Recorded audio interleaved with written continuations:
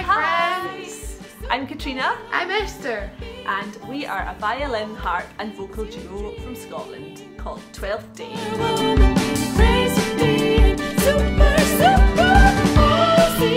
We write contemporary music that takes influence from folk, jazz, pop, classical, and everything in between. We write all of our music collaboratively and it's inspired by our many shared experiences, our travels and our shared views on the world.